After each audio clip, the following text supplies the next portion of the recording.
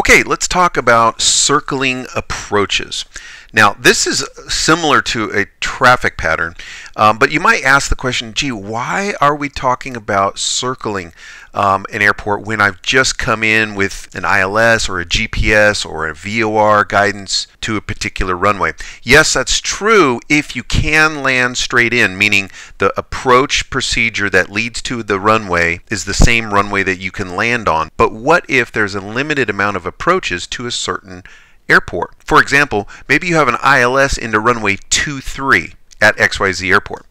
But there's no approach procedure going into runway 5. That's the opposite end of runway 23. Well, you would have to fly the ILS procedure or the localizer down runway 23 until you catch sight of the airport and then you would need to circle the airport around to runway 5 and land runway 5 kind of like entering a downwind or a traffic pattern for that runway. You might have crisscrossing runways one where it's served by an instrument approach procedure to both ends of that runway, and then maybe a little bit of a smaller crisscross runway, but the winds are favoring that runway, and it's just too much of a crosswind risk for you, so you decide to come in on an approach to the big runway and then break off that approach at a key point and circle around for the smaller runway there's different reasons that you have to do a circle, but the main one is the winds aren't favoring the runway on your instrument approach. So you can come in on that approach, but then you break it off to find a different runway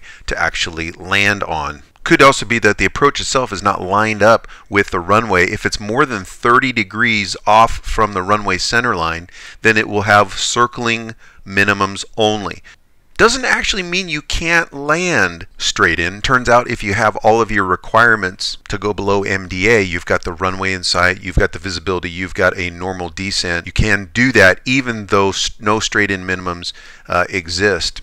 But otherwise, when the final course is more than 30 degrees out of alignment with the runway, then that will be a circling to land maneuver or if the descent is too steep from the final approach fix to the runway, if it's more than a 400 foot per nautical mile gradient, then it will also have circling minimums only. So if the approach is coming in really steep from the final approach fix, or if it's not aligned with the runway, or the winds are not favoring the runway that you're coming in on, you're having a massive tailwind. If you have a 15, 20 knot tailwind, you do not want to try a landing. You shouldn't really try a tailwind landing really at all. You may have to then circle. Now, is it better to find a different runway served by a different approach? Maybe you, it's not an ILS, but it's an RNAV approach, it's a GPS approach, maybe even a VOR approach. It especially is better if you are in not so great weather conditions, IFR conditions, poor visibility, rain, precipitation, low ceilings. The worse the weather is, the more I don't want to circle. Also, is it day or night? That's going to be another consideration. Really don't want to circle at night. Am I familiar or unfamiliar with the airports? All of this can lead into my decision on circling or not circling, or even maybe going to a different airport if I need to. All right, let's look a little bit more detail on the circling approach. Number one, you must have the airport environment in sight. That phrase, airport environment, means actually anything on the airport. Does that mean the, the rotating beacon is part of the airport environment? Absolutely it is. If you've got the rotating beacon in sight, you may break off from that approach and circle the airport because you have the airport environment in sight. You don't have to maintain visual contact with the runway. That is actually better. So let's go up a notch from what's required. Let's have the runway that we're going to be landing on in sight as we circle, just like you would on a VFR traffic pattern. It's that traffic pattern is all in reference to the landing runway, right? But as far as the requirements go, all you need to have is the airport environment inside. If you have a row of hangars, if you have the beacon, if you have the VASI if you have the runway and identifier lights, if you have something distinguishable about an airport, you can circle. Now, when you do circle, do the circling procedure, you have to use circling minimums. Okay, let's take a look at this excerpt from uh, Gainesville, Georgia, uh, ILS. Uh, here we see that the straight-in ILS runway 5 minimums uh, for all four categories of aircraft, A, B, C, and D, is 1476. That's your DA, and three-quarter mile visibility, which, by the way, that will bring you down to 200 AGL. If the glide slope's inop, then you're doing the straight in localizer only approach. So that means you'll be doing step downs and you'll level out at 1680. That's your final MDA. uh, and you need one mile visibility. But notice here below that is the circling minimums. And it doesn't say for what runway, it doesn't really matter. Um, there's two runways at Gainesville, Georgia, 523 and 11 and 29er. You can go to any of those runways, but the circling minimum must be kept at 1880 or above. So that means when you're coming down, you cannot go below the circling minimums in order to circle. So say you thought you were going to go to 1476 or even 1680, and then as you get closer, you you know you decide, gee, I, I think I, I better circle to a different runway, and you're at about 1700 feet, let's say, on the altimeter. Well, that would mean you are uh, 180 feet lower than the circling minimum. So by by definition, you're actually operating below the required minimum, which necessitates a mist, as we learned just moments ago. When do you have to miss? Anytime you're operating below MDA. You say, well, I'm, I'm above the MDA straight-in minimums for the localizer. Yes, that's true. At 1700 you would be, but you are below the circling minimums. And you cannot just simply climb up to the circling minimums. That would be encouraging us to do things that might not be so safe. So to discourage that, you have to stop at or above the circling minimums. So if you're not really sure what things are going to look like, how it's going to be when you get there, maybe you're not even sure how the visibility is going to be. So will you catch sight if you're coming down runway 5 uh, and making that approach? Will you see it in time in order to be uh, able to make a normal descent? You know, one good option is to actually keep yourself even a little bit higher at the circling minimums. You say, well, why would you do that? Then you'd be even higher. Well, by doing that, you can go all the way to the missed approach point, which in this case, as I actually happen to know, is the beginning of the runway 5, the threshold. You have all the way up into the threshold in order to begin a circle. If you catch sight, you might be able to circle around and uh, take a downwind base and final and land the airplane. But again, in lower visibility, that also might not be too great of an idea because you may lose sight of the airport. And you may not lose sight of the airport at any time, the airport environment, unless you're doing normal banking. So obviously if your wing is up, one wing's up, one's down, and that wing is blocking the view of the airport, that is the only time you're allowed to not be able to see the airport. But as soon as you lose sight, or if you lose sight with that airport environment, you are required to go missed. Here's kind of a general idea if you were uh, coming down in this case, like we said, let's say this is runway 5 on this end and you're shooting the ILS to 5 and you decide that you need to use 2-3 because the um, winds are favoring runway 2-3.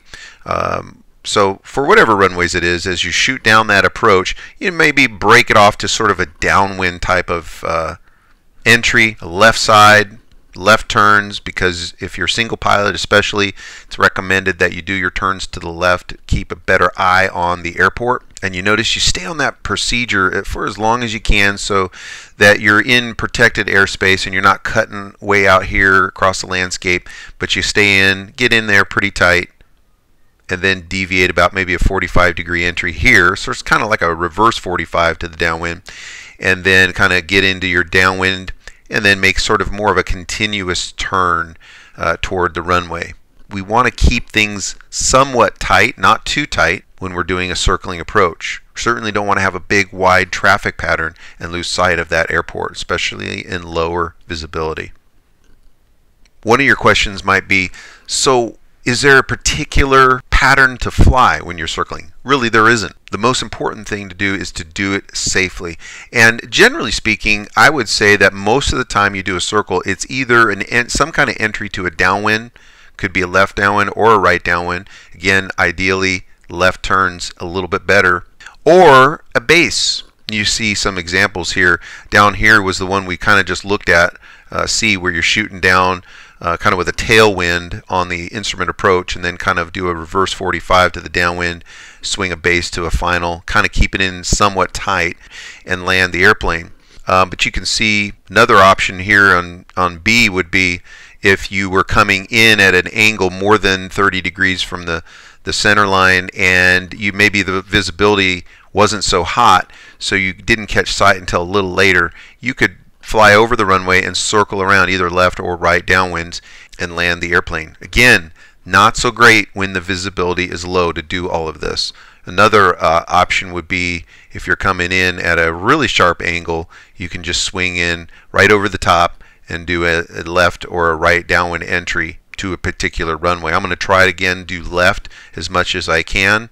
If I was coming in to land on this side, I might avoid the right turn, knowing if the obstacles are not bad between my, my approach here and the runway on this side, I might decide to just do sort of a base type of entry. Come across here and enter a base for this runway down here. Kind of like this one where you're coming in and the shortest path to get into this thing would be sort of a base, left base entry for this. So again, the safest way to a downwind or base type of entry. Now, another important consideration though with circling approaches is what is your AGL altitude of your MDA? Because all approaches are different. Some may have you higher, especially if there's mountains or obstacles you could be at 800 to 1000 AGL, maybe, for example. Other approaches may have you only flying 500 feet above the ground. So it's also a consideration to think where you would be pulling back power and descending below MDA. Depends on your AGL altitude. Keep in mind too that VFR traffic may be present, especially if the field is still uh, VFR, maybe it's marginal VFR. So this especially gets kind of interesting if you know your visibility is between three and five miles visibility. Not great, pretty murky conditions, but there could be somebody operating in marginal VFR traffic patterns while you're trying to do a circling approach and you can come in any which way you want to. You could be on a right base when the traffic is definitely a left traffic pattern for that runway. You're legal to do that. Keep in mind there might be somebody else doing something else. Visibility and lack of a horizon may complicate uh, this procedure. Yeah, that's why it's generally better to have better visibility and more closer to VMC type conditions if you're doing a circling approach, especially if it's into a field that you're not that familiar with. And if the visibility or the conditions aren't that great, you find yourself circling, keep relying on those instruments. Circling is a visual maneuver, but make sure you're managing your energy well. Make sure your airspeed is good. Uh, descent from MDA depends on the AGL altitude. We talked about that as well just a minute ago. Here's some suggestions for you.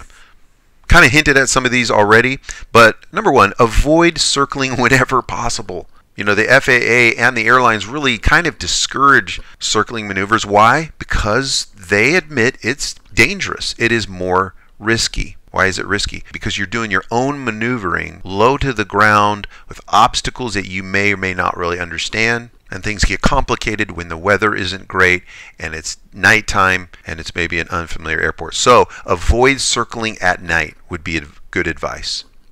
As well, don't circle at night at an unfamiliar airport. How much risk are you wanting to incur? Circle daytime only in VMC conditions. That's most of the airline's policy, actually. That's the airline's policy.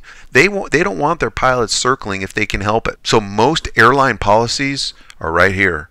Daytime only, VMC only. Has to be visual VFR conditions and day. Be confident that you won't lose sight of the landing runway. If you are going to do a circle to land, know the weather, know it's in VMC conditions or decent enough conditions. Maybe you're familiar with the airport, maybe it's daytime, maybe it's five miles visibility, but you decide I'm okay at this because uh, this is my home base airport. I really understand the area. I'm not going to circle at night. It is daytime, and I'm personally happy with five, six miles visibility to be able to do that. But again, these are all things that you have to weigh out the risk reward. Uh, plan your circle entry and letdown point from circling MDA. Kind of talked about this a little bit. What you don't want to do is when you get to your circling point, you don't want to wonder what, what you're doing. You don't want to guess what's the best way to do this. You want to already have a plan. It should be part of your approach brief. You might say, let's go back to uh, this one here. Let's say we're coming down the ILS for this runway and we're going to be circling to a left downwind entry for this runway. So maybe part of my briefing is I'm going to say, okay, we're taking the ILS runway 5 down to whatever it is, 1880 feet. I'll be entering a left downwind for runway 23 and I estimate pulling power back on base. Now why did I say that? Well, I uh, two things I did. One is I told myself what I'm going to do. How am I going to circle? I'm going to enter the left downwind. But the other consideration a lot of pilots miss is where do I anticipate that I'm going to leave the MDA? See, if in a normal traffic pattern in VFR, right abeam the numbers, we were trained to pull the power back, add a little partial flaps, and start our letdown, start slowing down and adding flaps gradually, right? Well, that's about if you're at 800 to 1,000 feet. That works great, doesn't it? But if you're circling at only 500 feet AGL, then you're way too low to pull power and start down, aren't you? Even if you keep this in a little tighter than a normal traffic pattern. What are you typically at on a base leg in a VFR traffic pattern? Eh, maybe 500, right? 600 feet, maybe 700 feet if you're just a tad high. So it probably would be better to think in my mind expecting that I'm going to pull power, start adding the flaps if I haven't had a little in already on base. Why? Because I'm low. Now, if I'm circling at 1000 AGL, well, then I probably will plan to pull power and go below MDA, abeam the numbers. Does that make sense? So we have a little bit more of an expectation of what we're going to do. Also avoid having to miss from a circle. I'm going to talk about that in just a minute, but that is not a lot of fun. And then use the next higher category minimums. So if you're a category A airplane, why not use category B minimums? They might be the same. Oftentimes they are, but the visibility might be a little higher. The MDA might be a little higher and it certainly doesn't hurt to do that. Sometimes you cannot uh, circle a certain side or of the airport, certain direction from the runway. For example, here in the NOS plate at Santa Monica, it says circling not authorized northwest of runway 321. So look at your airport diagram, see runway 321, and then think northwest of that runway. That's a no-fly zone for your circle. So it means you have to do a base or a downwind somewhere other than that. And when you look at that diagram, it's really handy if you just put a big X, whether it's with a pen on paper or if you're using electronic charts to actually use the feature where you can draw on your tablet or your phone and make an X marks the spot. Just to remind me when I look at that visual picture, oh yeah, I can't be over there.